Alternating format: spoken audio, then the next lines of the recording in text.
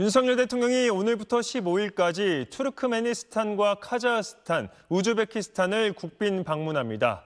윤 대통령은 이번 중앙아시아 3개국 순방을 통해 핵심 광물 자원이 많은 이 나라들과 공급망 협력을 강화하고 한국과 중앙아시아의 새로운 협력 모델을 만드는 K-실크로드 구상을 추진한다는 계획입니다.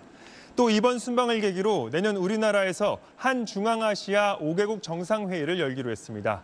이번 순방은 지난해 12월 네덜란드 국빈 방문 이후 6개월 만으로 부인 김건희 여사도 동행합니다.